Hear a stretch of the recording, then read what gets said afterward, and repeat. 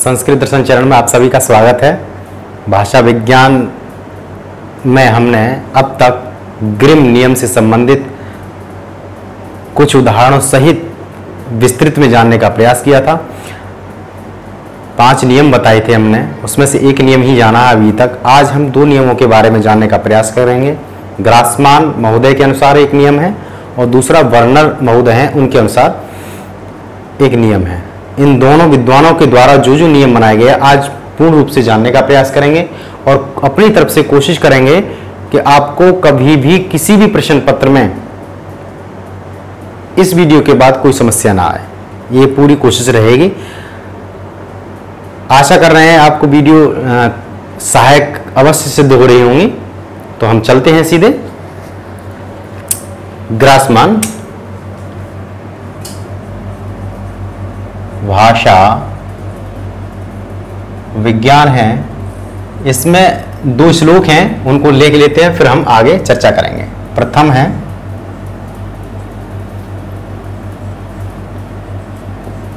महाप्राण द्वयुक्ता बड़े अक्षर लिखने का अभ्यास नहीं है, कोशिश कर रहा हूँ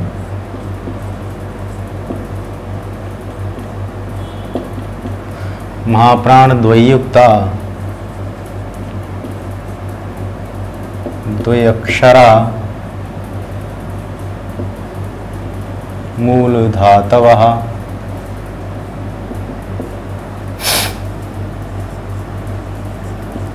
महाप्राणाद्य।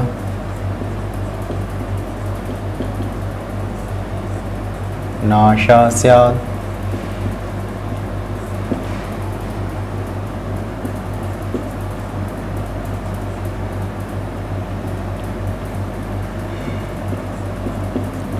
ग्रासमान।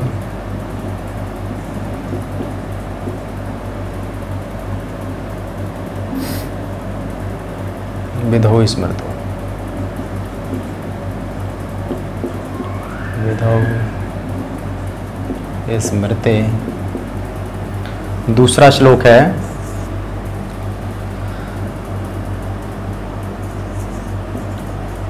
पूर्वम उदात्त योगे तो। पूर्व उदात्त योगे तो।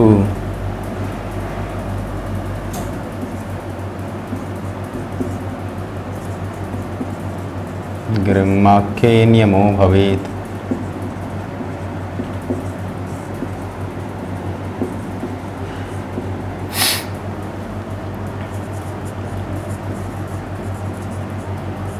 अन्यथा द्विपदावृत्ति।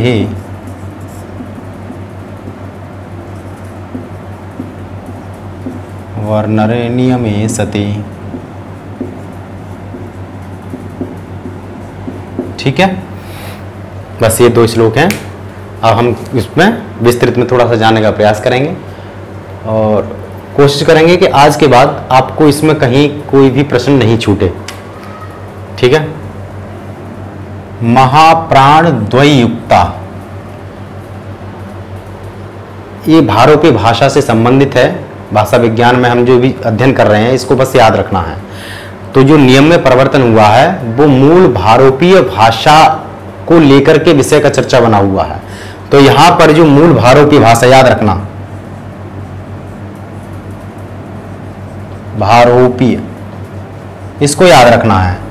नहीं तो भाषा में समस्या होगी भाषा कौन सी भाषा? ये मूल भारोपी भाषा में है।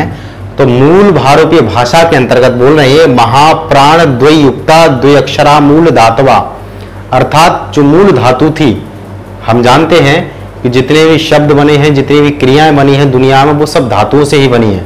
ये हमने नृत्य के माध्यम से अध्ययन किया है और वैयाकरण जितने भी हैं, व्याकरण पढ़ने वाले जो लोग हैं अध्ययन करने वाले जो लोग हैं, वो भी सब जानते हैं कि जो मूल होता है, वो धातु होती है मतलब क्रिया। धातु के द्वारा सारी उत्पत्तियाँ हो जाती हैं। तो ये वही बात कर रहे हैं, द्विअक्षरा मूल धातुआ अर्थात, महाप्राण से युक्त थी, मूल धातु जो थी भारोपी भाषा में, वो दो महाप्राण भाषा से युक्त थी। अर्थात, उनमें दो महाप्राण थे। अब दो महाप्राण से यह सूक्ष्म महाप्राण, याद रखना है आपको। महाप्राण, फिर बहुत समस्या हो जाएगी। सूक्ष्म महाप्राण। अब सूक्ष्म महाप्राण भी उष्म जो महाप्राण है, उसमें शब्द याद कर लो, हा। इसी पर पूरी कहानी टिकी हुई है। पूरा विस्तृत में नहीं जाएँगे, नहीं तो फिर आपको महाप्राण याद करने पड़ेंगे अल्प्राण महाप्राण, फिर उनमें से सूक्ष्म याद करने पड़ेंगे, बहुत सारी चीज़ें याद करनी पड़ेंगी। तो आपको याद रखना है, हा युक्त सूक्ष्म है, ये महाप्राण के अंतर्गत आता है और सूक्ष्म व्यंजन है। व्यंजन भी हम जानते हैं सूक्ष्म व्यंजन कितने होते हैं, उनमें ये सूक्ष्म व्यंजन के अंतर्गत आता है और महाप्राण के अंतर्गत आता है। तो हा से युक्त मूल धातु दोनों में हा था, अर्थात महाप्राण से युक्त थी। फिर क्या हुआ? महाप्राण आदि नाशाह सियाद, यानी महाप्राण में जो दो धातुओं में मूल, दो अक्षर थे, वो महाप्राण युक्त तो उनमें से पहले का महाप्राण का, अर्थात हा का, नाश हो गया। ग्रासमान विधौ स्मृति यह ग्रासमान ने विधि बताई है। कैसे? इसको थोड़ा सा जान लेते हैं, ठीक है ना? जैसे धा है। धा जो बना था रूप, वो बना था दधामी, ठीक है? अब इसका जो रूप बना दधामी। इस तरह से ये रूप बना। मूल धातु धा प्राण युक्त होती है तो इसमें एक धा और एक धा। इसमें हा, धा। अगर इसको थोड़ा सा इंग्लिश में लिखेंगे तो बात और साफ़ हो जाएगी। इंग्लिश में हम जानते हैं डी एच से धा बनता है। ठीक है? तो डी एच से धा बनता है तो हा युक्त ध्वनि है ये। अर्थात महाप्राण है ऊष्म युक्त है धा तो ये दो धा क्रम से आ गए। तो इसमें बता रहे हैं दुई अक्षरा मूल धातवा। फिर क्या हुआ? जैसे ही वो रूप उसके चलने लगे, अर्थात वो व्यवहार में आए तो महाप्राण आद्य आद उसका जो पहला अक्षर था, उससे हा की ध्वनि निकल गई। तो ये धा, जो था उसमें से डीएस से बनता था तो हा उसमें से निकल गया। अर्थात महाप्राण की एक जो ध्वनि थी, महाप्राण का जो एक अक्षर था जिसको हा ध्वनि के नाम से जानते हैं, वो निकल गया। तो बचा ये दा। इसलिए तो किसमें से? ये दोनों में से प्रथम, यानी आद्य में से हा की ध्वनि निकल गई। महाप्राण का नाश हो गया, ये ग्रासमान के नियम के अनुसार। इन्होंने ऐसा बताया है। तो यहाँ पर दधामी रूप इसका देखने को मिलता है। अब कभी कभी ऐसा होता है अब जैसे दधामी है तो इसमें प्रथम में आदमी नाश हो गया और द्वितीय में हा है। लेकिन कभी कभी ऐसा हो कि प्रथम में तो महाप्राण हो और द्वितीय में, यदि द्वितीय में उसका नाश हो रहा हो, अर्थात हा की ध्वनि उसमें से निकल रही हो, यहाँ की हा की ध्वनि को याद रखना है ये प्रश्न जो की तो आ जाता। है तो हा की ध्वनि जैसे ही निकल जाएगी तो हा पहले वाले में आ जाएगा। ठीक? चलिए, अब एक भाग भवार नाम सुना होगा। भवार जो बनता है, वो बभार बनता है। ये इसका उदाहरण दूसरा है। प्रथम उदाहरण ये वाला हो गया, दूसरा उदाहरण ये वाला हो गया। मैं अभी और उदाहरण और दूँगा। तो बभार में क्या हुआ, ये प्रथम और दोनों दुनिया कैसी है? महाप्राण युक्त हैं। तो महाप्राण युक्त जब भी प्रयोग में आएँगी तो उनके प्रथम जो अक्षर है, उससे हा की ध्वनि, अर्थात पहले महाप्राण का नाश हो जाएगा। सीधा मतलब है इसका। तो यहाँ क्या हुआ? बी एच से बनता है, ऐसे नहीं समझ तो ऐसे समझ लो। तो ये बी बचेगा, अर्थात हा का नाश हो जाएगा, महाप्राण का नाश हो जाएगा। तो बभार ऐसा रूप यहाँ पर बन गया। ये किसके अनुसार है? ये ग्रासमन महोदय के अनुसार है। इसको बस याद रखना है। ये जो पीते उदाहरण आ जाते हैं कि दधामी में जब ये दधामी रूप बना तो इसमें कौन सी ध्वनि निकल गई?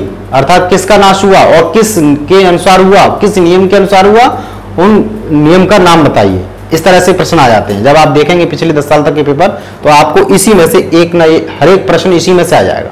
ज्यो की तो उदाहरण आप कितने बना लीजिए अब। ठीक है? चलो मैं एक दो उदाहरण और देख लेता हूँ इसमें। एक है तीसरा उदाहरण। ये ध्यान रखना ब्री भ्री धातु है, भ्री। जैसे ये धा धातु थी, ये भ्री। बोध है। बुध का, क्योंकि इसमें मूल धातु है और दोनों इसमें महाप्राण है। तो पहले का नाश हो जाएगा, बन जाएगा ये। बुध और बाँध क्या बन जाएगा? बोधती। इस तरह से इसका रूप बन जाएगा। तो पहले अक्षर में से हा की ध्वनि निकल गई है। इसको इंग्लिश में और कुछ बोलते हैं। गाथिक भाषा में इसी को व्यूदान के नाम से जाना जाता है। व्यूदान, इसमें व्यूदान, इस तरह से लिखा गया है। ठीक है? बोधती को, अभी आ जाता है कि बोधती को गाथिक भाषा में क्या लिखा जाएगा? ये सीधा प्रश्न बनता है। कभी प्रश्न बन जाए कि बोधती को गाथिक भाषा, याद रखना, ये गाथिक भाषा है। गाथिक भाषा। अब गाथिक भाषा क्या है? मैंने पहले ही बताई है ये जर्मन भाषा से ही संबंधित है। आप जब पिछला वीडियो मेरे अवश्य देखें, उसमें मैंने सारी बातें बताई, इसमें दोबारा नहीं जाऊँगा मैं। तो ये गाथिक भाषा है, विदान। व्यूदान, ये बन जाता है व्यूदान। अब इसको इंग्लिश में कैसे बोलेंगे, मुझे नहीं पता, जैसा है, मैंने वैसे आपको बता दिया है। मैं एक बार बता चुका हूँ आपको इसमें कि भाषा विज्ञान का हम विशेषज्ञ नहीं है। कोशिश करते हैं आपको थोड़ा सा समझाने की तो इस तरह से इसको बोल सकते हैं। इसमें एक दो उदाहरण और दे दूँगा आपको। चौथा उदाहरण ले लेते हैं एक धब है, धब। इसमें क्या होगा? दो अक्षर हैं हमारे पास, महाप्राण। इसका प्रथम का नाश हो जाएगा तो दब बचेगा, दब। दब को अंग्रेज़ी में इन्होंने जो दर्शाया है, क्या लिखा है इन्होंने?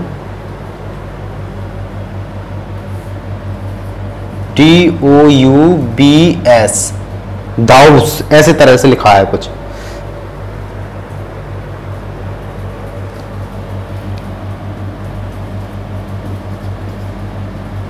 दाउस ये गाथिक भाषा ये भी गाथिक भाषा का है, ठीक है ना? याद रखना है। ज़्यादा नीचे आ गया क्या? ठीक है। गाथिक भाषा का ही उदाहरण है डाउस तो यहाँ दो ध्वनिया थी, उसमें से एक प्राण ध्वनि निकली महाप्राण की जो ध्वनि थी, हा हा को याद रखना, हा निकल गया तो दब बच गया, ये बन गया दाउस इस तरह से ये कंपेयर किया गया। अब यह आ जाता है कि दब को गाथिक भाषा में किस रूप में लिखा जाता है? याद रखना, इस रूप में लिखा जाता है। इसमें ज़्यादा समझने के लिए नहीं है। आप अगर पिछले दस साल तक के पेपर अध्ययन किया है तो आपको पता चलेगा कि इसमें से सभी क्वेश्चन इतने में से ही आ गए हैं। एक भी क्वेश्चन आपका बाहर नहीं जाएगा। अगर बाहर गया हो तो मुझे कमेंट के माध्यम से ज़रूर बताएँ कि आखिर बाहर इसमें से ये चला गया। ठीक है? इसमें एक दो उदाहरण और बताऊँ आपको थोड़ा सा।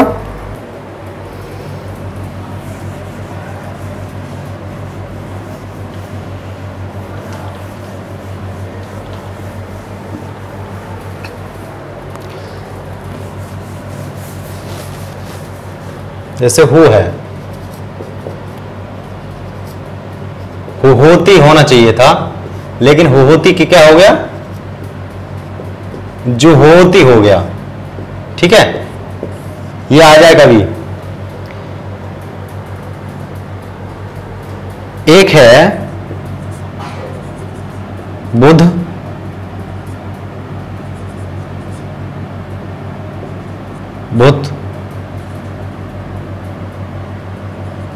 और है बुत्सु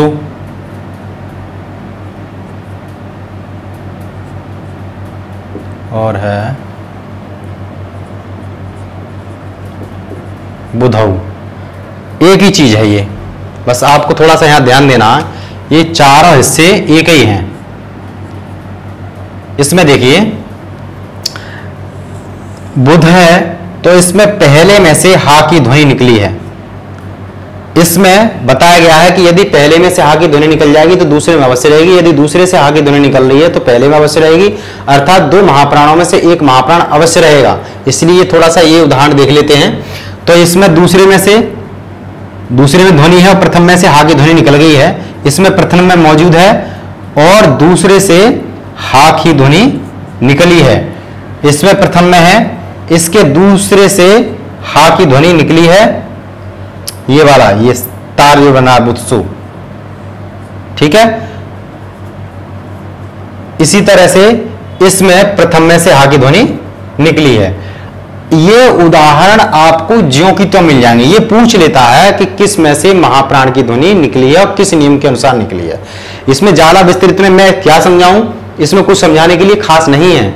बस आपको ये याद हो गया तो उसके बाद में सारी बातें याद हो जाएँगी। एक बार फिर एक बार बता देता हूँ महाप्राण से युक्त दो अक्षर हो तो मूल धातु में, ये भारतीय भाषा की बात चल रही है तो महाप्राण आद्यनाशा उसमें से दोनों मूल धातु में जो दो अक्षर हैं, उसमें से प्रथम का महाप्राण का नाश हो जाता है। यहाँ नाश से तात्पर्य, हा की ध्वनि, जो सूक्ष्म हा है, वो निकल जाता है। ये आता है बार बार तो कौन सी ध्वनि निकलती है? तो हा याद रखना है। तो सूक्ष्म हा की ध्वनि निकल जाती है। ये किसके अनुसार है? ये ग्रासमान के अनुसार माना जाता है। ठीक है? अब इसको ज़्यादा लंबा नहीं करूँगा, नहीं तो फिर बोरियत महसूस होने लगेगी। अब दूसरे पे चलते हैं। कभी कभी चीज़ें समझाने के लिए ऐसा लगता है कि कुछ समझाया नहीं है, और आप इसको अभ्यास करेंगे तभी समझ में आएगा। बिना अभ्यास के ये समझ में नहीं आएगा। इसी तरह के आप उदाहरण बहुत सारे देख सकते हैं। अब इसमें देखिए, पूर्वम उदात्त योगे तु गिरिम आख्य नियमो भवेत। नहीं समझ में आ रहा ना? इसमें समझ में आती नहीं चीज़ें। अन्यथा द्विपदावृत्ति वर्णन नियम सती। वर्णन नियम ने क्या किया है? वर्णन में जो ग्रासमान, जो ग्रिम ने नियम दिया था, क्या दिया था? कि का, ता, पा, खा, था, फा होता है। ये दिया था, आपको पहला अध्ययन करना पड़ेगा। तो वो कब होता है? इस बात को ये बता रहे हैं वर्णर ये बता रहे हैं कि पूर्वम उदात्त योगे तु यदि का, ता, पा से पहले उदात्त अक्षर हो, अब उदात अनुदात स्वरित, ये तीन अक्षर स्वर होते हैं, आपको इसको थोड़ा सा याद रखना है। उदात मतलब जिसमें हम जिस जो अक्षर, जिस स्थान से उच्चारित किया जाता है उसी स्थान के ऊँचे से स्थान से, और उसी स्थान का बड़ा टिपिकल है इसको समझना, थोड़ा ध्यान दो। उदात्त, अनुदात्त और स्वरित ये तीन स्वरों में सभी अक्षरों को, सभी स्वरों को बांट दिया गया है। उदात्त से तात्पर्य होता है उच्च उदात्ता है निश्चय उदात्ता है समाहार स्वर ये सूत्र तो बहुत याद किए हैं। लेकिन ये आज तक समझ नहीं आया इसको मतलब क्या है। इसका तात्पर्य होता है उदात कोई अक्षर है, जब वो अपने स्थान से उच्चरित होता है, लेकिन वो स्थान हम ऐसे समान रूप से बोल देते हैं।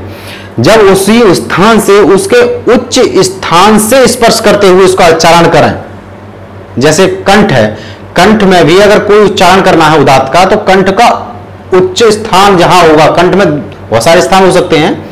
एक स्थान ना हो उसके उच्च उच्च स्थान से उसको उच्चरित करते हैं, तेज़ी आवाज़ में, तीव्र आवाज़ में तो वो उदात्त के अंतर्गत आ जाता है। अनुदात्त में उसी स्थान का निचला हिस्सा जो होता है, नीचे का भाग जो होता है, उससे यदि उस अक्षर का उच्चारण किया जाए तो वो अनुदात्त हो जाता है। स्वरित का तात्पर्य क्या है? मध्यम भाग से, जो स्थान है अक्षर के बोलने का, यदि उसके मध्यम भाग से उच्चरित किया जाता है, ना वो ऊँचे स्थान से, ना वो नीचे स्थान से, मध्यम भाग से उच्चारण किया जाता है तो वो स्वरत के अंतर्गत आता है। इसको इस तरह से ही बोलते हैं लोग कि जब ऊँची आवाज़ में या उच्चारण तेज हो तो उसको उदात कहते हैं। उच्चारण यदि धीमे हो तो अनुदात होता है और उच्चारण यदि समान हो तो वो स्वरित होता है। लेकिन इसका जो आ, सही व्याख्या है वो यही है जिस स्थान से जो अक्षर बोले जाते हैं यदि उस स्थान के तीन हिस्से कर लीजिए आप। अपर अरे इंग्लिश बोल रहा हूँ थोड़ा सा ऊपर वाला मध्य और नीचे वाला। तो ऊपर वाले हिस्से से उदात्त होगा, नीचे वाले से अनुदात्त होगा मध्यम से जो भी अध्ययन किया जाएगा, या जो उच्चारण किया जाएगा, वो स्वरित के अंतर्गत आएगा। ठीक है? तो ये वही बता रहे हैं यहाँ और इसमें समय की भी समस्या होती है बातें। किसी को बोलने के लिए, इसको थोड़ा सा और बताऊँ मैं आपको, है? थोड़ा लंबा हो जाएगा ये। देखते रहें, थोड़ा सी समस्या नहीं है।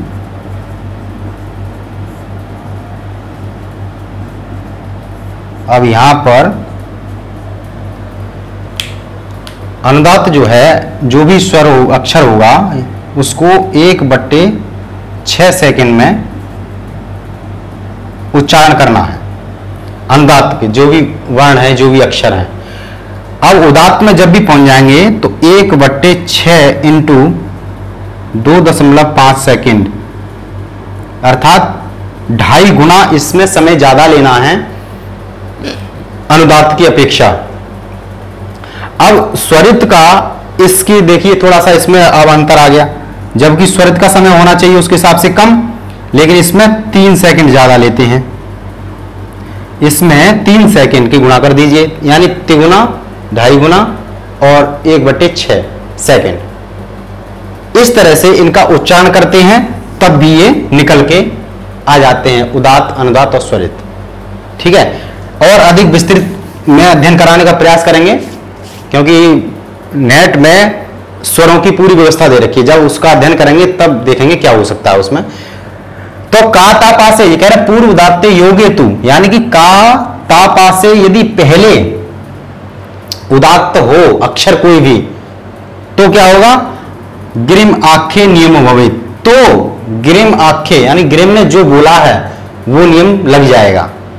ठीक है? तो खा होगा, था होगा और फा होगा। किसके स्थान पर? का के स्थान पर खा, ता के स्थान पर था और पा के स्थान पर फा। कब? जब इनसे पहले उदात्त अक्षर होगा। वर्ण याद कर लो। स्वर माना जाता है, हालाँकि वो आप वर्ण और अक्षर ध्यान देना।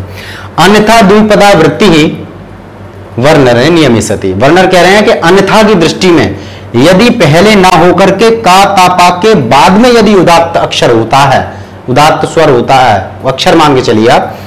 तो अन्यथा द्विपदावृत्ति अर्थात दो पग आगे का कार्य हो जाता है। ये तात्पर्य इसका। जैसे का, खा, गा, ता, था, दा, पा, फा, बा। ये इनके अनुसार है। यदि कातापा से बाद में उदात्त हो कोई भी अक्षर तो का के स्थान पर गा हो जाता है, ता के स्थान पर दा हो जाता है पा के स्थान पर बा हो जाता है। ये इनका तात्पर्य है। यदि का से पूर्व पा से पूर्व उदात्त होगा, पूर्व उदात्त होगा तो का के स्थान पर खा होगा ता के स्थान पर था होगा और पा के स्थान पर फा होगा। ये उलझाव वाला मामला है। थोड़ा सा ध्यान देंगे, पुस्तक को लेकर के बैठेंगे और एक दो उदाहरण देखते चले जाएँगे तो ये बातें बिल्कुल साफ़ हो जाएँगे। ठीक है? अब मैं इनके उदाहरण देने का यहाँ लिखने, यहाँ लिखे देता हूँ सीधे सीधे उसको बाद में समझाऊँगा।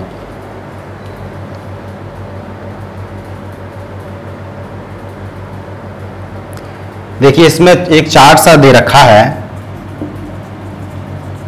संस्कृत, लैटिन, गाथिक, मैंने गाथिक भाषा के बारे में चर्चा की है आपसे। अंग्रेज़ी,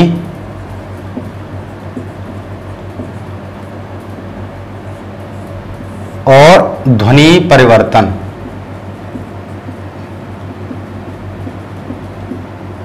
ठीक है?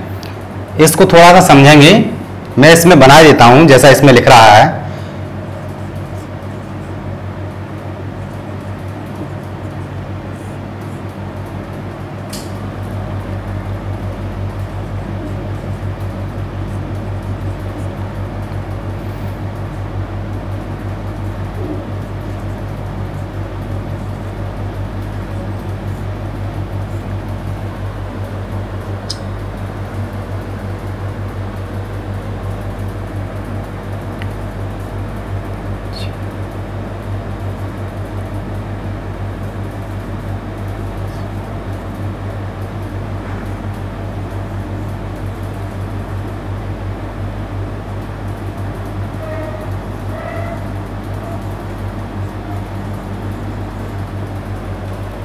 जग्स हुंड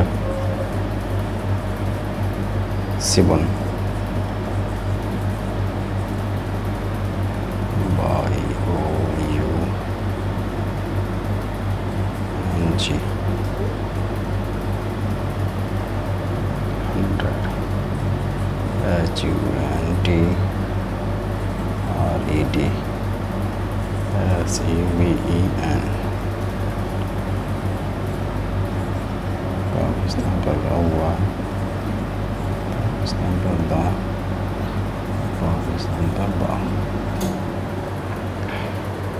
समझेंगे इसको थोड़ा। प्रश्न इसी में से आ जाता है। आप जब भी देखेंगे हंड्रेड वन परसेंट इसी से ही आता है, बाहर से नहीं आता। तो यहाँ पर ये कोमा के द्वारा जो दर्शाया गया है, इसको थोड़ा ध्यान दें।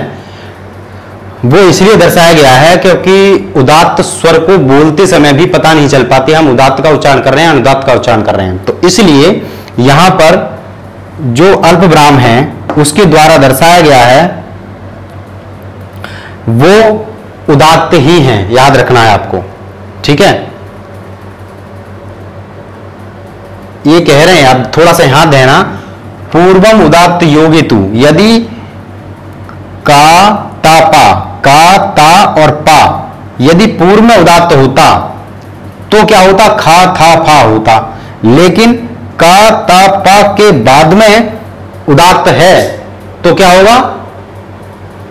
तो हमको याद रखना है द्विपदावृत्ति अर्थात आगे की दूसरा कार्य हो जाएगा। अर्थात गा, दा, वा हो जाएगा।